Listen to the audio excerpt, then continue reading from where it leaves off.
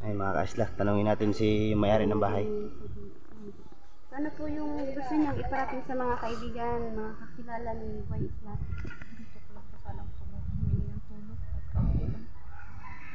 Sana lang naman mga damit ng anak ko.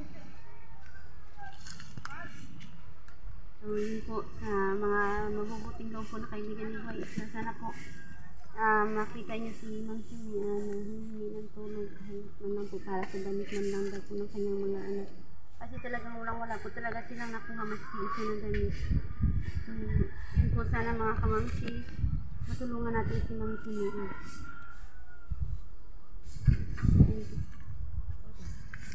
Ikaw na So ayan po mga kaisla, ah, ayan po ang inahing ng may-ari. Ah, so sana po ah, ma- matulungan po natin kahit kunting tulong lang po na ipaabot natin kay Nanay Mian. Ayan po si Nanay Mian na malungkot po dahil po nangyari sa kanilang bahay. Ah, humingi po ko ng kwan sa inyo mga kaisla na sana po matulungan din po natin si Nanay Mian. Ayan po. Dahil po yung kanilang bahay. Ayan ang nangyari.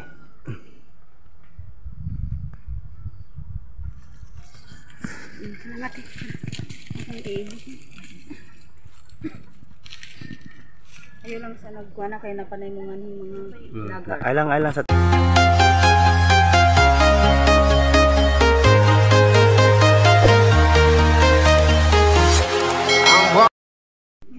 What's up mga kaisla? Ah, good morning po sa inyo lahat. Isang mapagpalang araw po sa inyong lahat.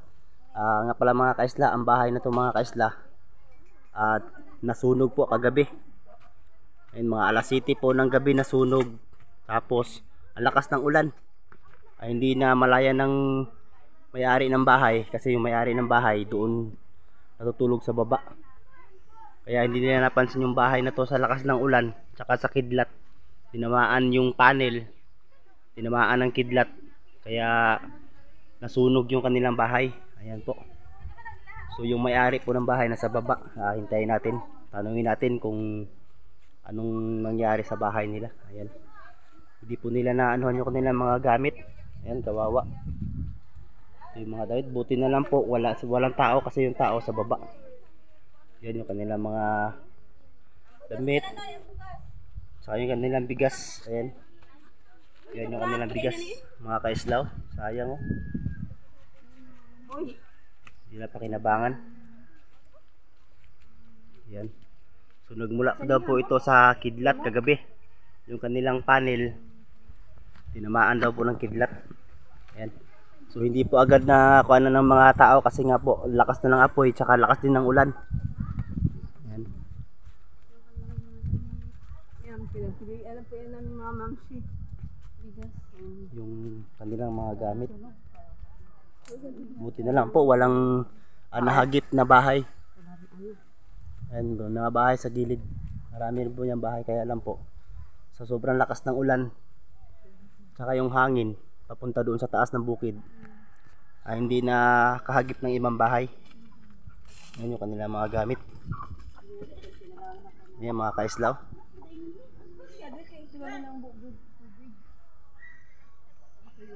Durog. So hindi lang natin naaktuhan na videohan kagabi na ah, umusok kasi nga po ah, maulan. So sobrang lakas ng ulan.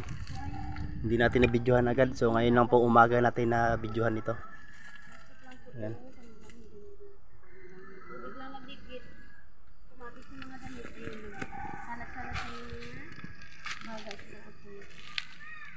Ayan, parang dinaanan ng ano? Dinaanan ng sunog. Sunog nga. Hindi naman sa ilaw na ano eh. Ayun mga kaisla. Yung bahay na nasunog. Munting bahay na nga lang. Nasunog pa.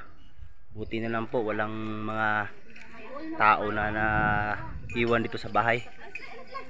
Kasi nandito, to- nandito ito sa bundok-bundok eh. Ayan. Pati yung kanilang mga pananim. Ayan.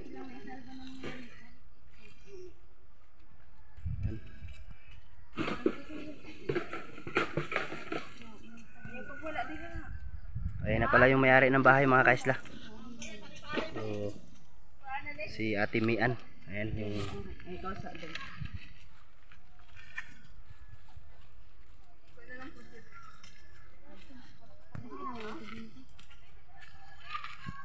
Asa din mo na to gabi ite? Asa din mo na to gabi eh? Ah, sa baba kayo? Tulog? Ah. So yun mga ma'am sis. Ayun nga pala, doon daw po daw sila tulog sa sa baba. So yun po mga ma'am sis. Kakausapin po natin yung sheet na may-ari ng bahay na ito. Ah, sana po matulungan natin sila.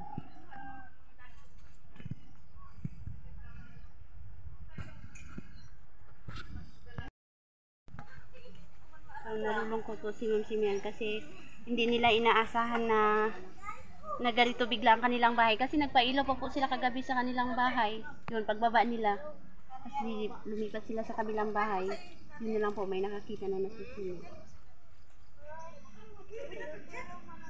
so ayan nga po pala mga kaisla yung may-ari ng bahay. Ayan, malungkot kasi nga sa nangyari na nangyari sa kanilang bahay. Biglaan. Saka hindi na rescuehan kasi nga po lakas po ng ulan. Kaya hindi ganong na yung bahay nila.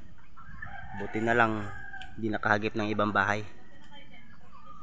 baka mayroong maawa sana po mga kung gusto po natin sana makatulong sa kanila kahit man lang po sa mga damit.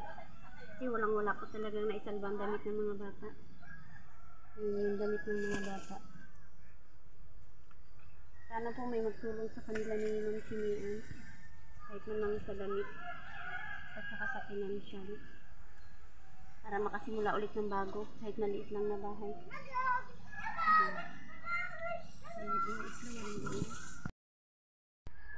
Ayan mga kaisla. Ah. Ayan po yung bahay na nasunog. Ayan. Ah, sana mapansin to ni Buhay Isla na sana matulungan siya ni Buhay Isla Vlog TV sa yung may-ari ng bahay. Ayan. Sana may makapanood din na sulod supporter ni Buhay Isla para matulungan yung may-ari ng bahay si Ate Mian. Ayan. so napakalungkot na nangyari. Wala tayong magagawa kasi nga po na po ang nangyari kasi nga hindi natin na na-rescuean yung bahay nila. Kasi nga po sobrang lakas ng ulan. Hanggang ngayon nga po medyo ano pa rin yung panahon. Saka madulas dito sa mundok-mundok.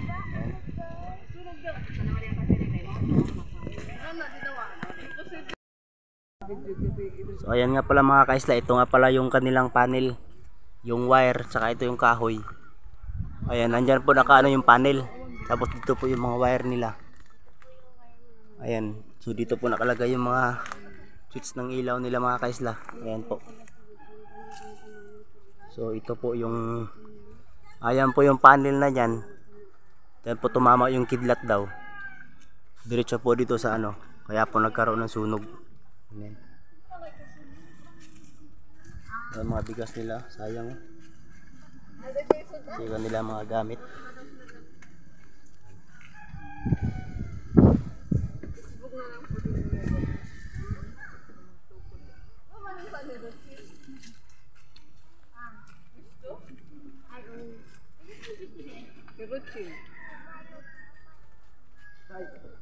Magbudagal Ay mga kaisla, tanungin natin si may-ari ng bahay. Ano po yung gusto niyang iparating sa mga kaibigan, mga kakilala ni Boy Isla? Gusto ko lang po sanang humingi ng tulong kahit kaunti. Kahit sana lang naman ng mga damit ng anak ko. So, yun po sa mga mabubuting loob po na kaibigan ni Boy Isla. Sana po ah, makita niyo si Ma'am Sumi uh, na humingi ng tulong kahit man lang po para sa damit man lang daw po ng kanyang mga anak. Kasi talagang walang wala po talaga silang nakuha maski isa na damit. So, yun po sana mga kamamsi, matulungan natin si Ma'am Sumi.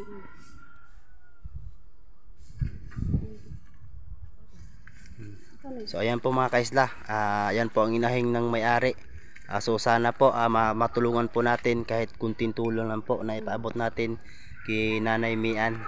Ayan po si Nanay Mian na malungkot po dahil po nangyari sa kanilang bahay.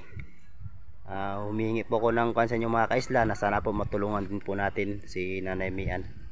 Ayan po. Dahil po yung kanilang bahay Ayan, ang nangyari.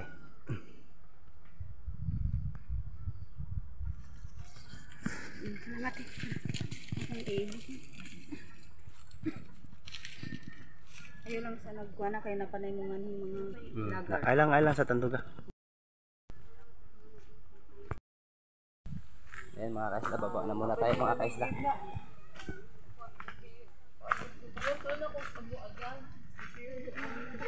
Sana matulungan po natin si Nanay Mian sa nangyari sa kanilang bahay. Sana ipaabot po natin kung sino man po ang nakakita. Ah, Sana ah, i-share natin sa mga taong may mga mabubuting puso para matulungan din po natin.